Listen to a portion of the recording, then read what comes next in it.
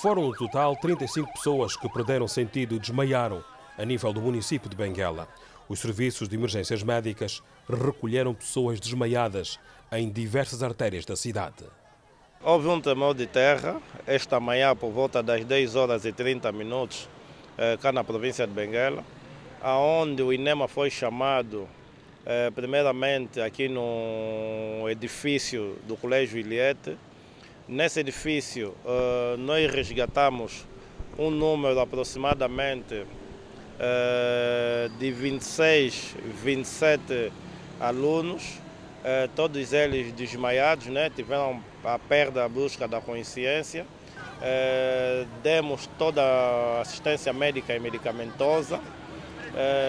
dizer que hum, também nós fomos até o edifício do Colégio Umbaca Benguela, aonde também resgatamos um número de aproximadamente seis a sete estudantes também desmaiados e nas imediações do Café da Cidade. Esses relatos de alguns alunos, né, é, que quando o prédio mexeu, então eles meteram-se em correrias e muitos deles tropeçaram, passaram por cima dos outros até chegar uh, ao primeiro andar do mesmo edifício.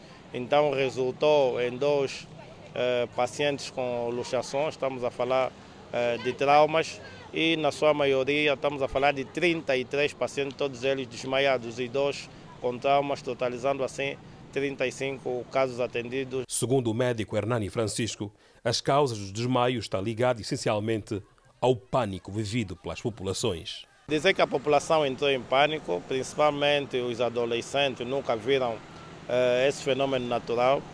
Dizer que foi em uma escala muito mínima, estamos a falar de aproximadamente alguns segundos.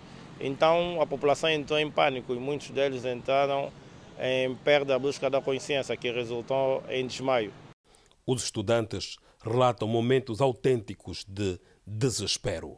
O que aconteceu quando estivemos na sala, a, a, a, sala, a sala de repente começou a mexer, parecia que uma coisa que tinha que zigue-zague, zigue-zague. E isso é a segunda vez a acontecer. É, eu estava no terceiro andar quando de repente vi a escola a mexer, eh, houve uma turbulência e de repente todos os colegas começaram a descer.